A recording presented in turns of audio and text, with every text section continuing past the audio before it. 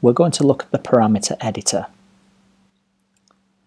The parameter editor allows you to adjust the settings or parameters that control the operation of the marker. The parameters are logically grouped together on a number of tabs.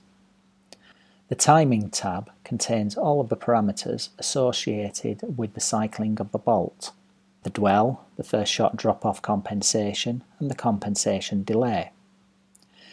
These parameters can be adjusted by clicking and dragging with your mouse or if you're using a tablet then you can use your finger to click and drag. You can use the cursor keys to make fine adjustments to the parameters.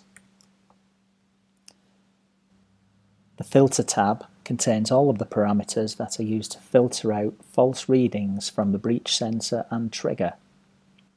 The Hardware tab contains all of the parameters associated with adjusting the electronics. The Game Timer contains all of the parameters associated with the game timer. The Shot Counter contains all of the parameters associated with the shot counter. The Other tab contains parameters that don't fit anywhere else. A preset is a group of parameters that controls the firing mode of a marker. They control the rate of fire, rate of fire cap, whether the marker is in semi-auto or ramping, and, if ramping, the specifics of how it ramps. The CS2 has 10 presets. When you first run ePortal, the factory default presets are displayed down the left of the tab. You can tell whether any particular preset is a factory preset by observing the factory preset radio button. If I make a change to this particular preset, you see that the button changes state. If I turn it back to the original value, then it regains its factory preset status. I'm going to create a new preset. I start by selecting one of the existing presets and I'm going to change the name to something a little more memorable. I'm going to call it my NXL. Now this preset is going to be used in an NXL league and so I need to set the rate of fire to a legal setting and I'm going to run quite close to the limit regardless of whether the breech sensor is on or off. All of the other settings are okay so I'm going to save this preset because I may want to use it at a later date.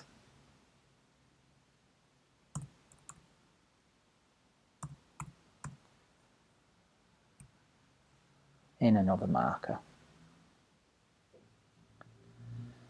Now, I want this preset to be at the top of the preset list so that when I'm searching for it in my CS2, I can find it easily.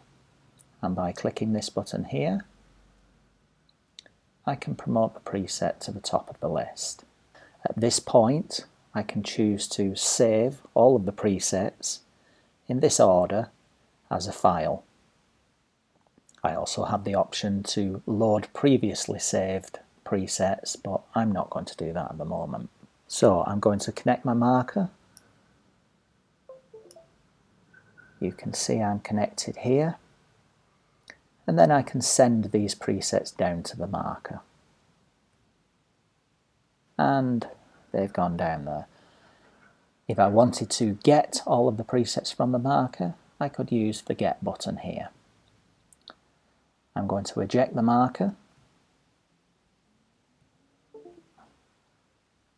disconnect the cable and power up the marker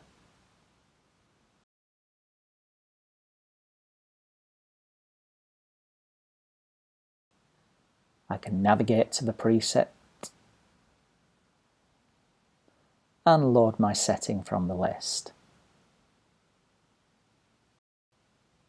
On the main screen, you can now see that the factory preset icon has changed from a tick which would denote it was a factory preset, to a cross, because I've made changes.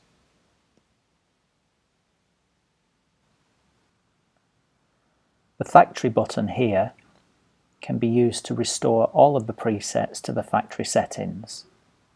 But please note that it also restores all of the other parameters to the factory settings.